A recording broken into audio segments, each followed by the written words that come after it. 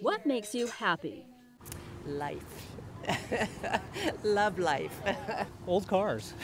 Eating ice cream. You've heard money can't buy happiness, and a 2016 Harris poll proved this statement.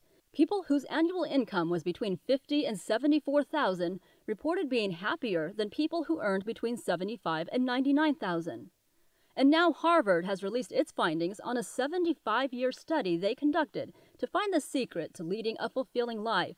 The conclusion? Good relationships keep us happier and healthier, period.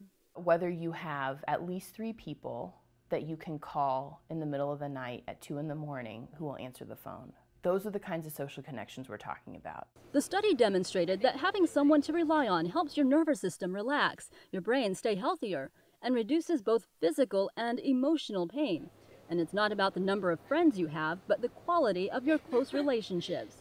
If you have people that count on you, that uh, you look forward to connecting with, that's really going to foster a lot of meaning and purpose in your life. So next time you're feeling down, reach out for a friend instead of your phone or your wallet. Helping you live a happier life, I'm Jessica Sanchez reporting.